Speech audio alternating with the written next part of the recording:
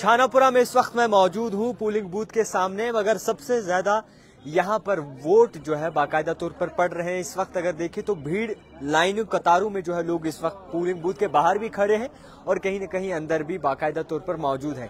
ये तस्वीर आपको जो है वो दिखाने की कोशिश करूँगा कि किस तरीके से इस वक्त जो है छानापुरा की जो आवाम है, वो किस तरीके से वोटिंग में हिस्सा ले रही है। हालाँकि ये बहुत बड़ा मैदान है और यहाँ पर कई सारे जो है लोग अभी तक आकर वोट डाल रहे हैं। फ़िलहाल की बात करें, सरदारों की बात करें या फिर मुख्तलिफ़ आम शहरी जितने भी यहाँ पर कश्मीरी रहते हैं या फिर कश्मीरी सरदार जी रहते हैं, मुख्तलिफ़ लोग जितने भी रहते हैं तो वो इस वक्त जो है वोटिंग में हिस्सा ले रहे हैं। कुछ लोगों से बात करने की जो है वो कोशिश करेंगे और जानेंगे इनसे कि आखिरकार किस तरीके से बदलाव के लिए छानापुरा इस वक्त जो है, जितना भी छानापुरा के लोग हैं, वो वोट डाल डाल रहे हैं। तो फ़िलहाल के तौर पर जिस तरीके से माहौल बना है, सबसे पहले पूरा दिखा दूँ आपको कि क्या माहौल बना है।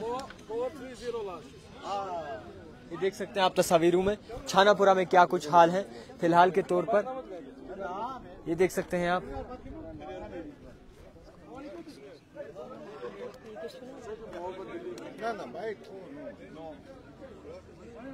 ये देख सकते हैं आप लोगों का हुजूम किस तरीके से जमा है।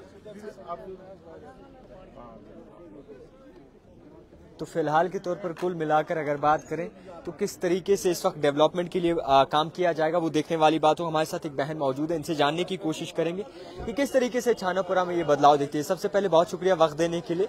इसे जी कैसी कैसा लगता है आपको कि इस वक्त माहौल कैसा चल रहा है? ओवरऑल क्या सिचुएशन बनी है? देखिए सिचुएशन बहुत अच्छी है क्योंकि एक नया वोटर सामने आ रहा है वोट डालने के लिए तब्दीली के लिए वोट डालना काफ़ी ज़रूरी है क्योंकि वोट जो है ये मुस्तकबिल तय करता है।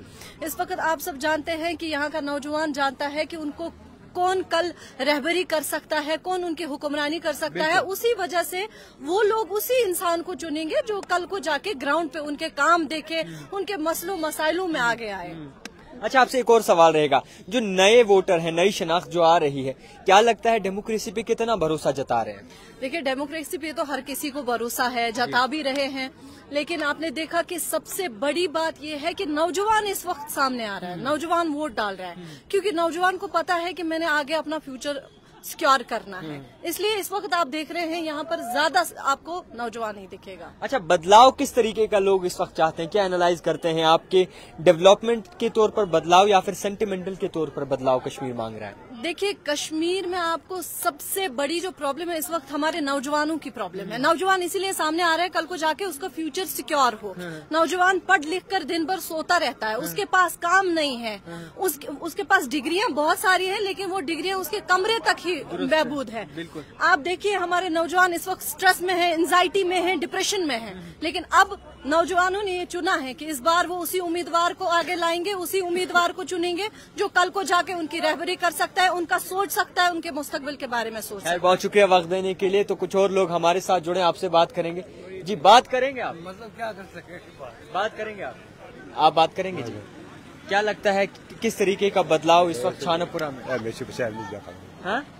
वो वोट डाला आपने? हाँ वो डाला। डाला? हाँ। तो क्या लगता है बदलाव आएगा? हाँ और क्यों क्यों नहीं? कौन कौन सी परेशानी इस वक्त कश्मीर में है? हर एक परेशानी है हर एक जवान नौजवान को। घर में बैठे डिग्री कर रहे हैं और उसे, उस, उसके बाद भी घर में बैठे। हाँ। वो क्या करेंगे? जो जिसको ये डिग्री वगैरह कुछ काम नहीं मिलेगा वो पत्थर उठाने के लिए मजबूर होता है। कि है कि मजबूर होते हैं पत्थर उठाने के लिए लोग जिनके पास डिग्रियाँ वगैरह है मगर काम नहीं मिल रहा? मतलब गलत काम कर, कर, भी कर सकते हैं। कर दे करे। इसलिए हम ये प्रोग्राम दे रहे हैं उनके लिए कुछ होना चाहिए। पहले से कहीं ज़्यादा वोटिंग यहाँ पर हो रही है? आपको लगता है लोग हिस्सा ले रहे हैं वोटिंग में पहले से ज़्यादा? हाँ हाँ। जी। पहले से ज़्यादा? जी जी। तो भरोसा है आपको? अच्छे दिन आएँगे? इंशाल्लाह इंशाल्लाह। तो फ़िलहाल के तौर पर ये तस्वीरों में आपको दिखाने की कोशिश करूँगा कि किस तरीके से इस वक्त माहौल बना हुआ है।